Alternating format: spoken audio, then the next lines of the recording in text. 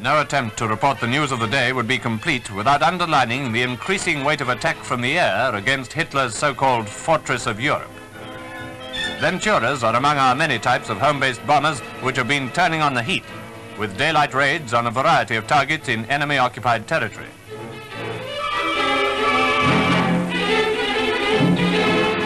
One perfect example was given recently when a force of Venturas left southern England to attack the German airfield at Morlaix, in Brittany, about 35 miles from Brest.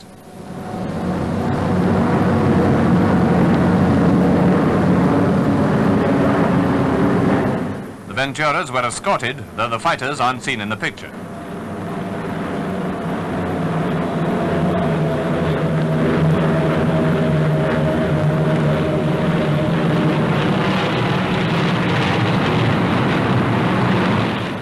Arriving over the target in excellent bombing weather, they let go at the perimeter track and dispersal point. The bombing was dead accurate and all our aircraft returned safely. Carefully selected targets are now being put through a round-the-clock plastering which is hitting the enemy very hard and stretching the Luftwaffe to the limit. A necessary prelude to invasion wherever and whenever that may be carried out.